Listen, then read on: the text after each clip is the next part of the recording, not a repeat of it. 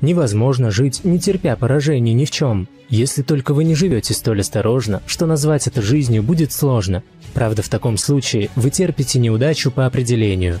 Когда вы в последний раз терпели поражение? Или, что еще показательнее, когда вы не сделали чего-то из страха перед неудачей? Главная причина, по которой мы не осуществляем свои мечты – боязнь совершить ошибку.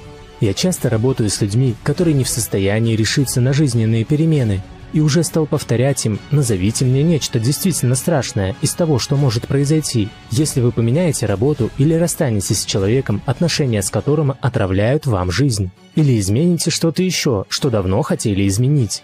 Очень редко я слышу убедительные ответы. Будьте осторожны, мысленно проживая свою жизнь. Слишком часто страх неудачи оказывается сильнее, чем самое возможное из неудач. Наиболее сильное опасение, которое способно связать руки даже самым амбициозным людям – вероятность потерять свое лицо.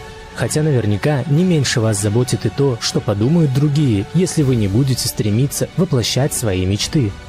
У меня для вас сюрприз. Люди думают о вас гораздо меньше, чем вам кажется. Научитесь руководствоваться собственным выбором и не допускайте, чтобы чужие мнения, высказанные или предполагаемые, мешали вам делать то, что нужно – Определите момент, когда пора двигаться дальше. Подумайте, какова степень приоритетности вашей цели. Решите, насколько возможный успех для вас важнее риска потерпеть неудачу. Очень многие известные люди утверждают, что гораздо лучше попытаться и не сделать, чем так никогда и не попробовать. Вы не придете к успеху, если не решитесь хотя бы начать этот путь, и, оглядываясь назад, будете гораздо больше сожалеть об упущенных возможностях, чем о тех, которыми неудачно воспользовались.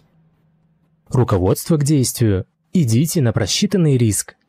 Причину что-то не делать найти нетрудно, ведь рискованные ситуации не редкость, и потерпеть неудачу можно в любом деле – Наверняка вы знаете хотя бы одного человека, который избегает того, что большинству людей кажется обычным, например, не летает на самолетах, потому что боится разбиться, или никогда не выступает перед большой аудиторией, опасаясь, что его высмеют.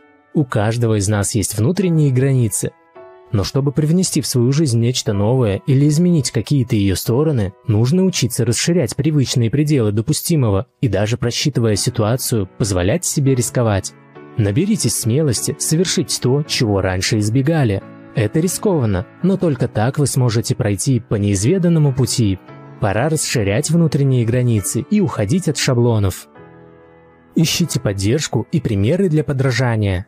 Составьте список людей, которые, преодолевая трудности и избавляясь от страхов, добились успеха. Такие духовные наставники помогут вам набраться смелости. По возможности найдите кого-то из этих людей и обратитесь к ним за советом. Это поможет вам оценить собственные возможности, просчитать за и против.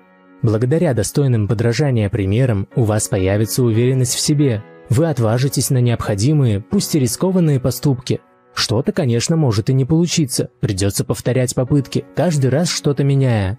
Но это цена, которую вы должны платить на пути к успеху.